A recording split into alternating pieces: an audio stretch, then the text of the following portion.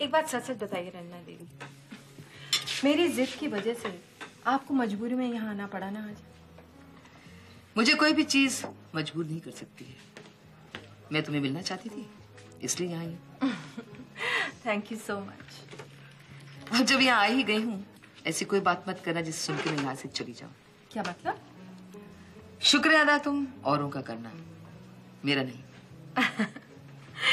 आपकी कंपनी इतनी इंटरेस्टिंग है कि मुझे तो हैरानी होती है कि कोई आपको अकेला कैसे छोड़ देता है?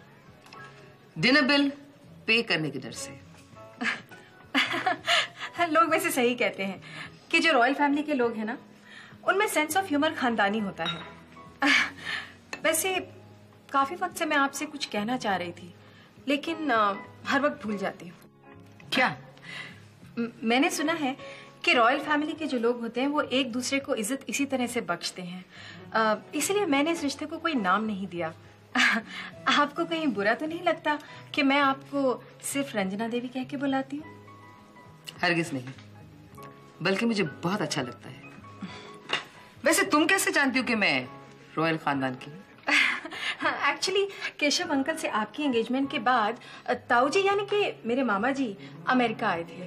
अ, उन्होंने हमें आपके पैलेसेस और रॉयल फैमिली के बारे में बताया था।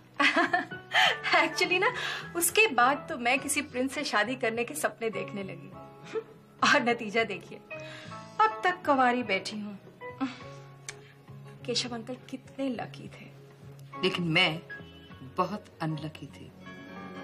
मैं उस शादी में हरगिज खुश नहीं थी। क्या मतलब? लेकिन तो फिर आपने इनकार क्यों नहीं किया? क्योंकि ताऊ ने इनकार की गुंजाइश ही नहीं छोड़ी थी। मैं समझी नहीं। बुरा मत मानना लेकिन ताऊ ने मुझे उस शादी में फंसाया था।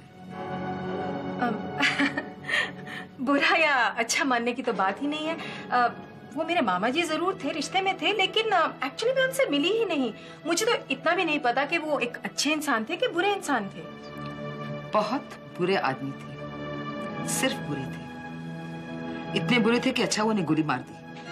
क्या? उन्हें गोली मार दी? किसने मारी वो गोली?